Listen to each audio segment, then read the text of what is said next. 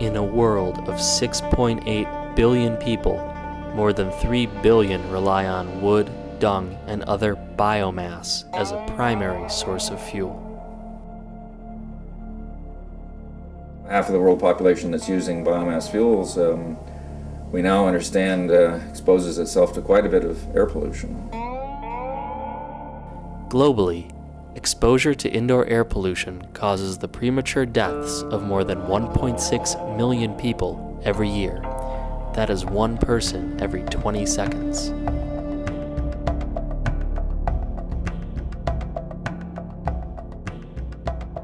A rather large range of health risks have been associated with this exposure, uh, including tuberculosis, uh, cancers, uh, low birth weight in children whose mothers were exposed during pregnancy, uh, cataracts, you know, eye diseases, even uh, some association with asthma. In India, 150 million households cook indoors using biomass fuels.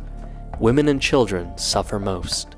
Improving the design of traditional cook stoves can not only decrease fuel consumption, but can dramatically reduce the amount of smoke and toxic substances they are exposed to. The wood can be burned very cleanly.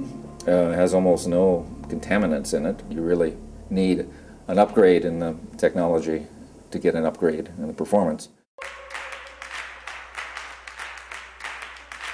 The Shell Foundation has partnered with local and international NGOs to develop improved cook stoves to be manufactured and sold in urban and rural markets in India. The problem of indoor air pollution is so large that there's not enough charitable money in the world to give away clean stoves to all the households. Therefore, you have to find a way to do it on a sustainable basis. So the Foundation's Breathing Space program aims to significantly reduce indoor air pollution through a market-based approach and a commercially viable solution to the market. This means that we bring together a coalition of partners through NGOs, through the private sector, through financial institutions to manufacture and market these products, uh, which are primarily improved cooking stoves.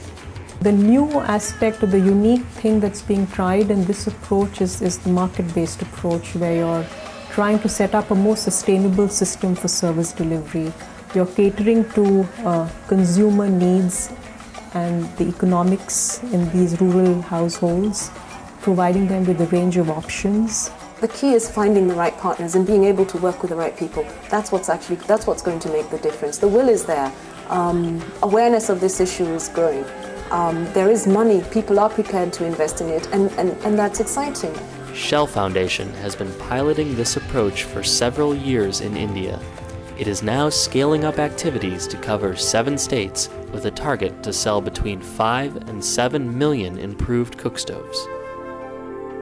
This project in India is truly paving the way for a solution on indoor air pollution around the world. The solution will be a sustainable solution and will help us improve the quality of life of many families around the world.